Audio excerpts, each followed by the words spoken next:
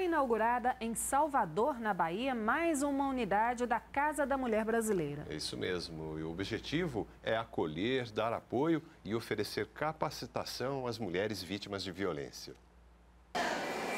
A Bahia é um dos estados que tem enfrentado o problema da violência contra as mulheres. Nós temos 15 delegacias especializadas de atendimento à mulher no estado da Bahia, né? e ela vem justamente, esse equipamento existe para atender uma política pública muito importante, que é de enfrentamento, que hoje a gente quer a erradicação da violência doméstica, para garantir proteção e assistência, como, como diz a Lei Maria da Penha. A partir de agora, vítimas desse tipo de violência passam a contar também com os serviços da Casa da Mulher Brasileira.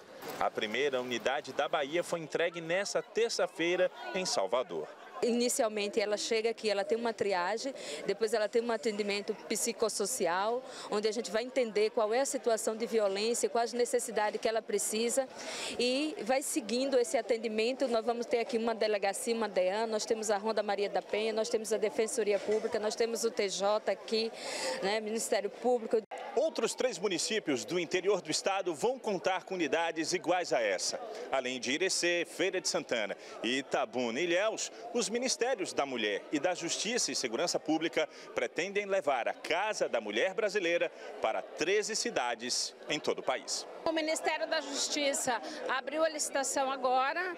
O resultado, o certame vai ser no dia 27 de fevereiro, né? Acertando as empresas que ganharam a licitação, o prazo da obra é entre nove meses a 13 meses, 12 um ano praticamente de obra. Enquanto isso, vai se fazendo a composição da equipe, como foi aqui. Os investimentos de quase 250 milhões de reais vêm através do Pronasce 2, Programa Nacional de Segurança com Cidadania, que tem como objetivo atuar em territórios com altos indicadores de violência e proteger públicos mais vulneráveis, entre eles as mulheres. É um ambiente que a mulher recebe, primeiro, o acolhimento de quem está sendo violentada pelas mais diversas formas, ou violência física, ou violência é, da autonomia financeira, ou psicológica. Então a casa tem estrutura de psicólogos, de médicos, de delegacias, de cartório, e ela passa a ser um atrativo para a gente poder discutir com as comunidades.